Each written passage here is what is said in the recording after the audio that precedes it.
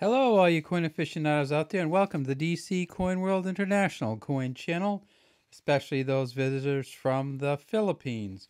Today we have a one peso coin from 1991 from the Philippines, and it's the famous Tamaraw coin, or the coin with the Anoa Mindorensis right here.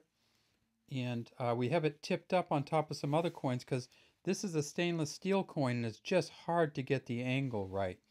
But if you look at it, you see very clearly that this Tamaraw, or kind of dwarf buffalo, is poking out the front. It says one peso at the top.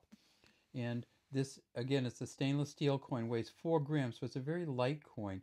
It's also not very big. It's called the small type peso. This, this small type peso was made from 1991 until 1994. And on the back it is the Tamaraw or the Anoa mindorensis. And this is an endangered species um, which right now mostly survives on the Mount Iglit Baco National Park. And they think there's about 400 plus of them uh, in the world. It's kind of a dwarf buffalo.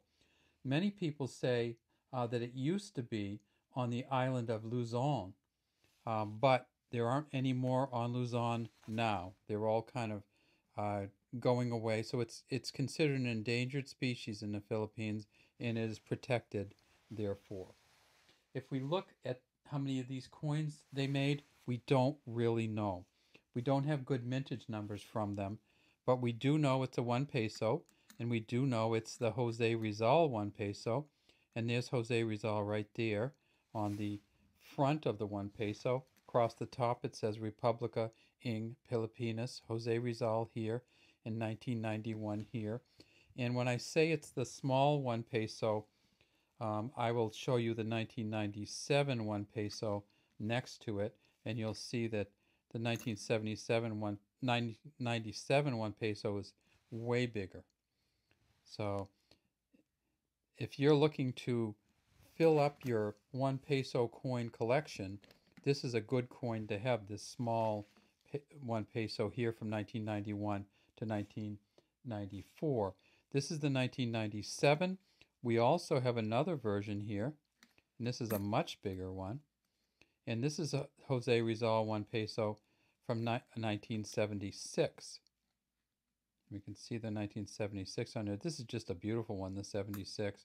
So there's a bigger one. So it goes very small over here, 1991, bigger here, way bigger in 1976, and then finally the one that dwarfs them all, the 1974 one peso with Jose Rizal on it, which is almost as big as all three of these put together. And there's a 1974 with the shield of the Philippines on the back. So that's our one peso coin collection from the Philippines.